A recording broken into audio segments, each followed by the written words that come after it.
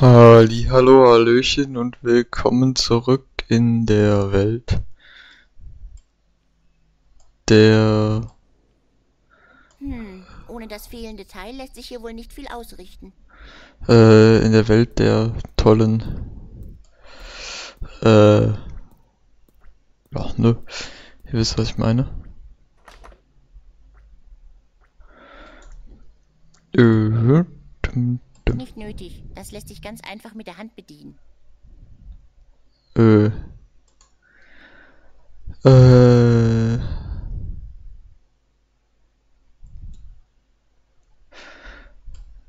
dum. Ach nee, warte mal, ist das ein. Äh, was ist denn das? Ach, Desto! Mann. Ähm, ja. Wir sind mal wieder in Du bist bald, ne? Kennt ihr ja natürlich mittlerweile, wissen das Spiel. Ähm, Hey Spot, kannst du mir irgendwie helfen, dieses Wappen von der Wand zu lösen? ja, ne? Schlurp, So, und nun? mach mal dich fett. Plomp. Ha, ahnte ich es doch. Ein, was wohl? Ein geheimer Mechanismus. Ah, Gott, oh Gott, oh Gott, oh Gott, oh Gott, oh Gott. Also jetzt benutzen wir Wandteppich. Sehen am Hebel.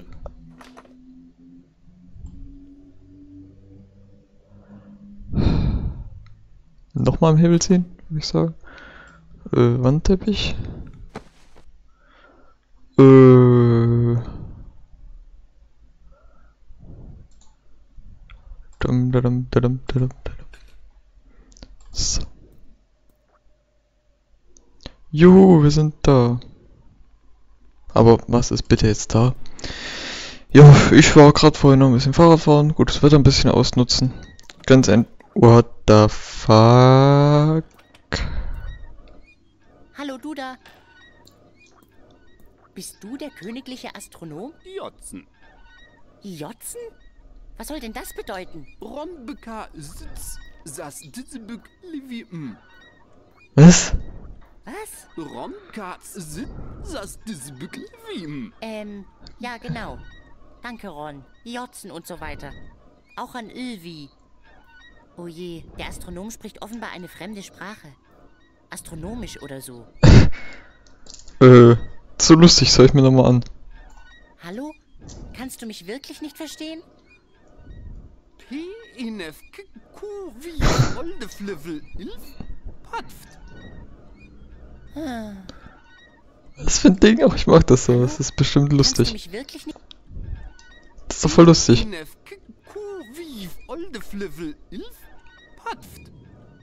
Und der Fliffel hilft? Hallo? P inef k q wie olde flivel ilf patft. Geil. Was haben wir denn hier? Schauen wir uns mal das Planetensystem an. Ey, geil. Was für Ideen die Entwickler kommen, das wird immer krasser gegen Ende. Weil wir nähern uns ja natürlich dem Ende. Ich muss zugeben, ich bin ernsthaft eingeschüchtert.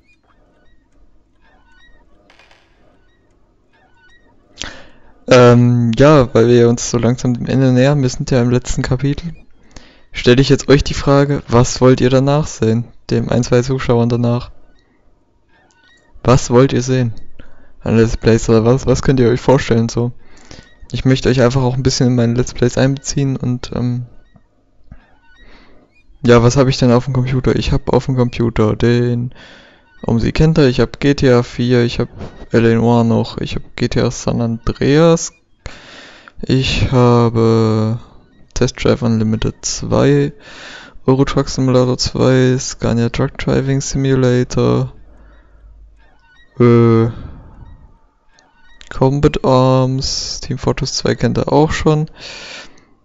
Ja, schreibt mir doch bitte mal in die Kommentare, was euch danach interessieren würde. Und wenn, wenn ihr jetzt kein spezielles Spiel habt, vielleicht ein Genre, Shooter, Simulator, äh, Sim Simulatoren. Was, was interessiert euch da? Das wäre mir ganz wichtig, dass ihr mir mal sagt, äh, was euch so an Genres interessiert. Fände ich sehr interessant. Und würde mich auch wirklich äh, sehr reizen.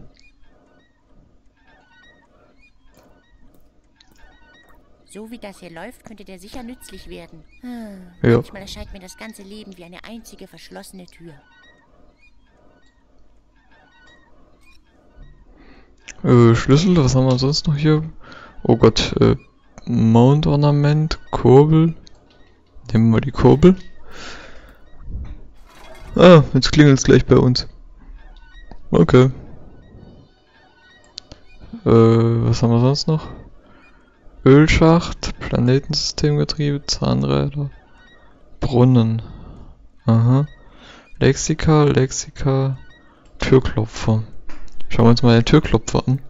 Das ist übrigens kein alkoholisches Getränk. Was ist nun wieder für ein Ding? Ein Türklopfer ohne Tür? Hm, läuft bei uns. Den brauchen wir bestimmt für da unten. Warte mal, der hat doch so wirr geredet. Oh je, es ist vollkommen durcheinander. Hm. Na Echt? dann mal los. Äh, A bis G.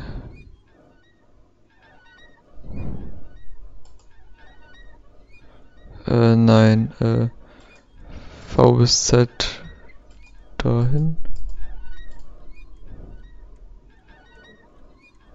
Was haben wir jetzt hier alles?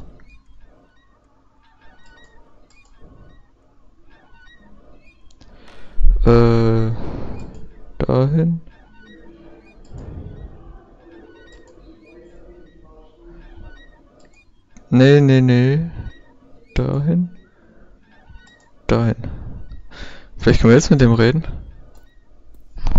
Ups, sorry. Bin ich wohl gerade ein bisschen an mein Mikrofon gekommen.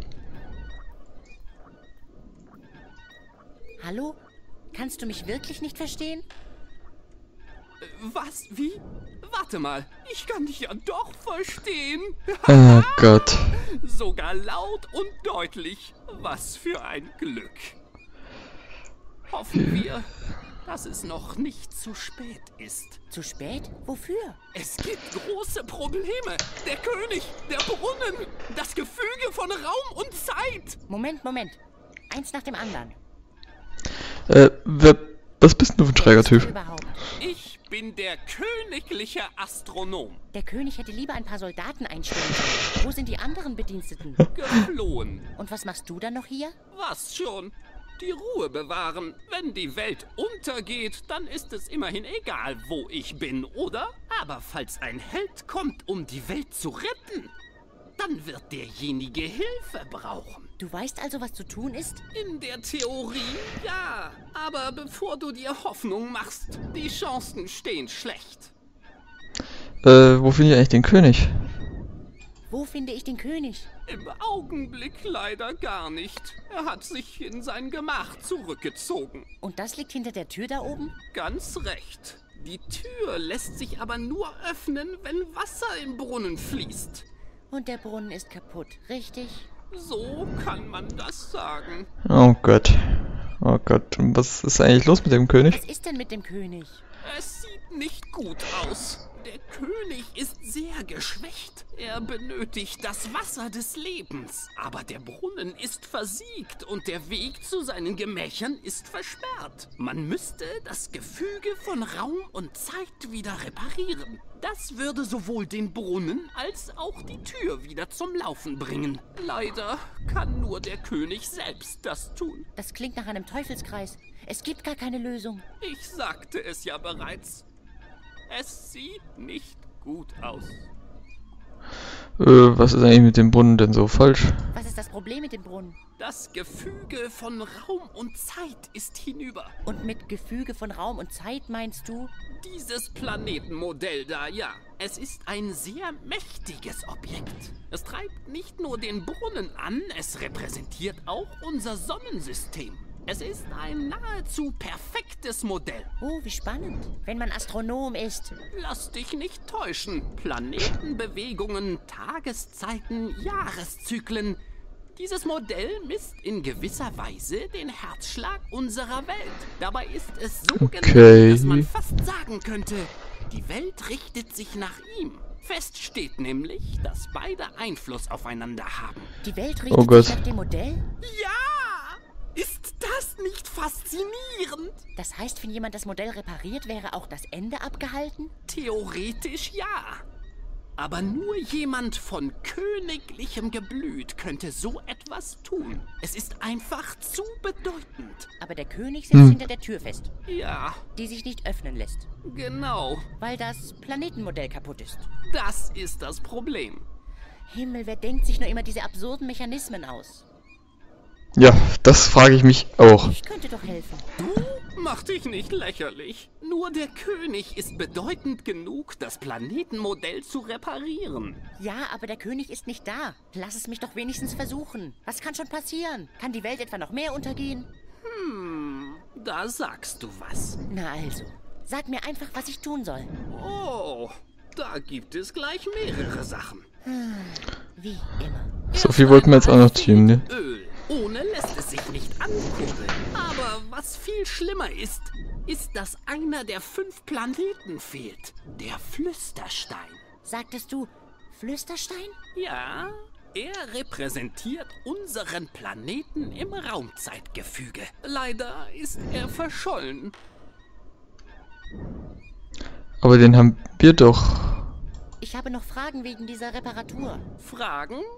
Was für Fragen denn? Hast du etwa nicht zugehört? Doch, doch, aber es ist doch sehr viel Information auf einmal. Schon gut, schon gut. Wo genau drückt denn der Schuh? Äh, ich versuch's lieber allein. Ich versuche es lieber allein. Tu das. Äh, ich bringe schlechte Bringe Nachrichten. Schlechte Nachrichten. Nicht sehr originell in diesen Tagen. Aber was soll's? Schieß los. Äh, mir wurde prophezeit, dass ich dass. die Welt zerstöre. Und dann läufst du schnurstracks in die Schaltzentrale des Sonnensystems? Ich will dich ja nur ungern kritisieren. Aber das klingt nicht so, als hättest du vorher reiflich darüber nachgedacht. Äh, und die ASCII planen einen Angriff. Einen Angriff. Und dann müssen wir uns beeilen. Nur der König kann uns vor den Asgil schützen. Und Spot hat den Flüsterstein gefressen. Was sagst du da? Du weißt, wo der Flüsterstein ist? Nur in etwa. Mein Haustier hat ihn aufgefressen. Aber das darf doch nicht wahr sein. Wir brauchen den Stein, um das Gefüge von Raum und Zeit zu reparieren. Ohne ihn sind wir aufgeschmissen. Ich hätte ihn lieber rechtzeitig füttern sollen. Dein Gejammere bringt uns auch nicht weiter. Lass dir besser was einfallen. Ich such derweil schon mal mein Sezierbesteck. Oh, nicht nötig. Mir fällt schon noch was ein. ja, Ich bin kein Held, nur ein unbegabter Clown. Oh, ja, das sowieso. hm. Ein Clown, sagst du? Ja, Kein Held? Kein Prinz? nein, nur ein Clown. Und nicht einmal ein besonders guter. Hast du wenigstens ein Muttermal? Oder eine auffällige Narbe? Nichts dergleichen. Tja, das ist wirklich schlecht. Und, äh, noch den ganzen Tag ja, ne? Probleme Genau. In der Tat düster aus, mein Freund. Durchaus, gell? Äh, nettes Hörrohr. Nettes Hörrohr. Was sagst du da? Ah, schon gut. Ich glaube, ich weiß jetzt, was zu tun ist. Was stehst du dann noch hier rum? Los, los, los! Die Zeit rennt uns davon. Wir stehen hier nicht rum, wir stehen hier Wodka. Halt, warte mal, Teleskop. Das war sicher sehr teuer.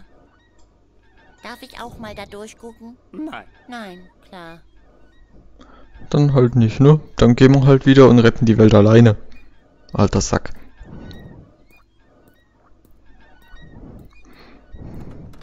Scheiß Spot frisst den Flüsterstein. Aber wir haben jetzt den Türklopfer und damit kommen wir doch bestimmt in den Turm da rein.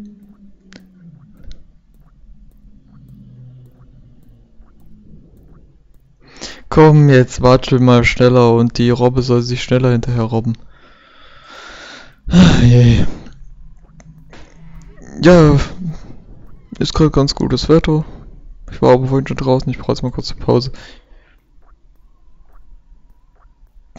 Hm, Tjo.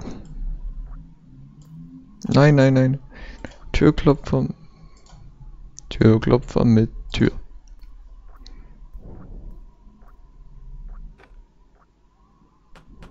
Na endlich. So, jetzt haben wir's. What the fuck? Das ist eine Destille. So eine hat Oma früher benutzt, um Schnaps aus Flusselfen zu brennen. Okay. Ein leeres Fläschchen. Entweder ist es leer Oder es beinhaltet einen Unsichtbarkeitstrank. Oh, Farbmischregal. Rohrlabyrinth. Oje, die Rohre stehen ja noch wie Kraut und Rüben. Überall sind offene Rohrenden, aus denen der Dampf entweicht. Und ich sehe nur zwei Korken. Das sollte ich schleunigst reparieren.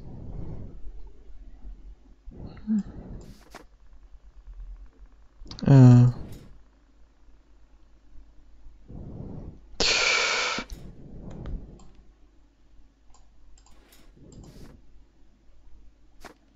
So.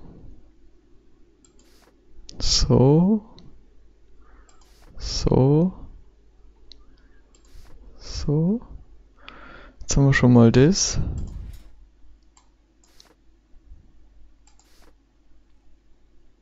Oh, nee.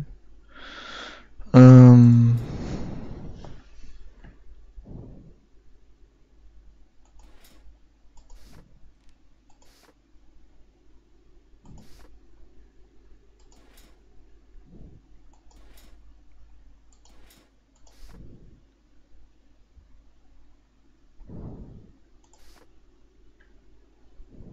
Äh, hallo? Ah, ein Leck. Ah, So.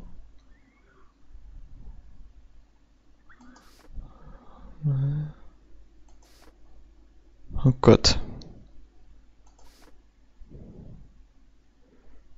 So, das sieht jetzt schon mal ein bisschen besser aus. Ha. Äh.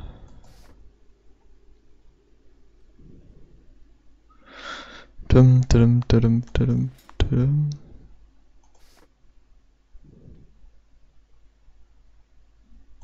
Nee. Nee. Hm. Himmel hilf. Hallo, Lex, ich hasse euch.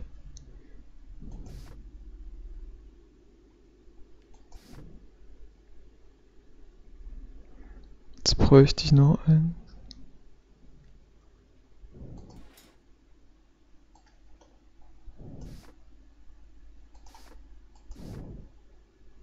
Das war schon richtig so.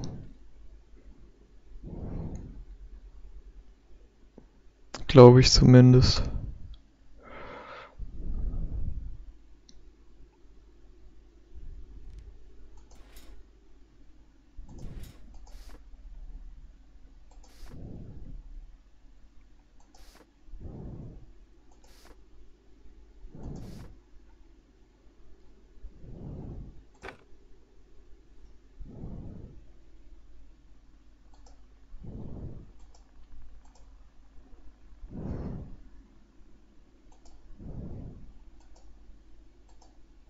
Hm.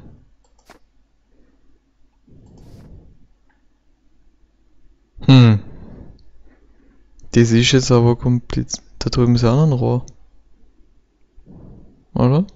Ne.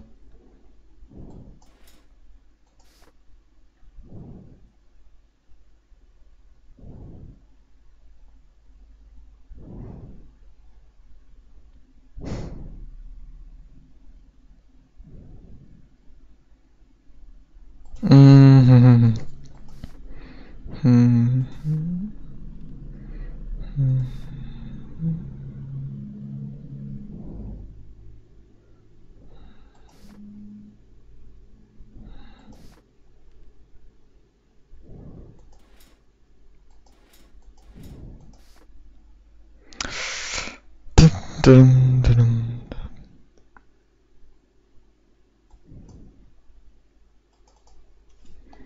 Hm. Wie funktioniert denn das bitte? Hm. Wäre das nur so einfach, wie man immer denkt, gell?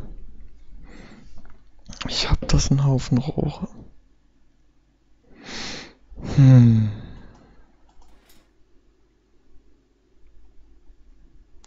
Das hier oben sieht schon eigentlich ganz...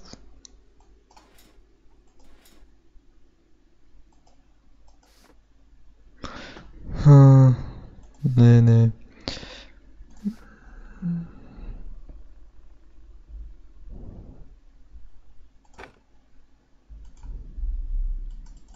Hm. Dann würde ich sagen, machen wir das lieber im nächsten Part. Der ist jetzt wahrscheinlich auch schon überlang. Dann würde ich sagen, bis zum nächsten Mal und bis dahin, ciao, ciao und bis bald.